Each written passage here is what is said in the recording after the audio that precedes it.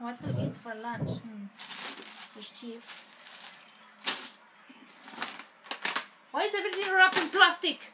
Oh, the clothespin. The clothespin keep the food fresh.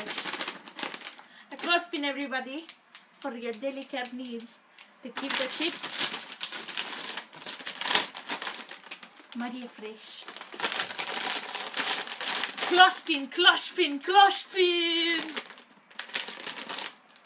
Clothespin is a very, very, very, very good tool to keep your food of fresh. Clothespin. Clothespin!